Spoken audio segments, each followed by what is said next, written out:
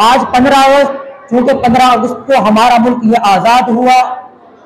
हम लोगों ने अंग्रेज़ों की गुलामी से निजात मिली। इस हिंदुस्तान की आज़ादी के लिए दो लाख मुसलमान शहीद हुए। जिस वक्त हिंदुस्तान में अंग्रेज़ों के नापाक कदम पड़े, और अंग्रेज़ों ने इस मुल्क पर कब्जा करने की तरकीबें सोचनी शुरू कर दी। तो उस वक्त उलमाए किराम ने आगे कदम बढ़ाया, अपनी जानों को पेश किया। इस हिंदुस्तान की आज़ादी की खातिर शामली के मैदान में उलमाए देवल टोपे का निशाना बने हैं। इस हिंदुस्तान की आज़ादी की खातिर इक्यावन हज़ार उलमाए किराम शहीद हुए। इस हिंदुस्तान की आज़ादी की खातिर दहली की चांदनी चौक से लेकर खैबर तक के दरख्तों पर उलमा की गर्दनें लटकाई गई।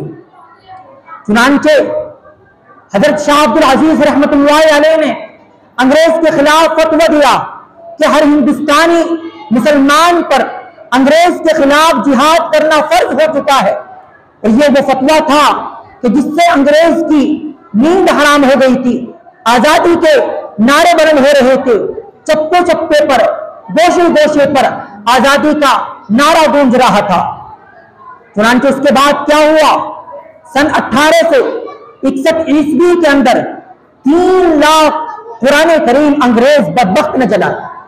सन अठारह सौ चौसठ से लेकर अठारह सौ सड़सठ तक ये तीन साल हिंदुस्तानी तारीख के अंदर ऐसे अनमनाक साल हैं कि इसमें चौदह हज़ार उलमाई किराम को तख्तेदार पर लटकाया गया। कामसन कहता है कि हिंदुस्तान की आज़ादी की खातिर उलमाई किराम को सिल्वर की खालों के अंदर बंद करके उनको बहते हुए आग के अंगारों पर डाला गया। उलमाई किराम को आग के अंगारों पर डाला गया। उनको नंगा करके तंदूरों के अंदर डाला गया। उनको सूली पर लटकाया गया।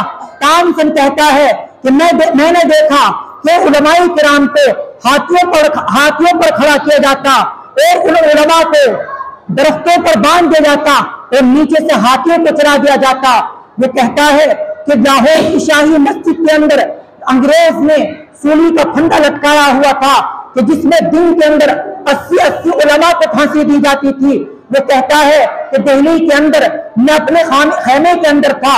मुझे मुर्दार की बदबू महसूस हुई और जब मैं अपने खेमे के अंदर से बाहर आया, मैं देखता क्या हूँ कि चालीस उलमा हैं, उनको नंगा किया गया है और बहकते हुए आग के अंगारों पर उनको डाला गया है।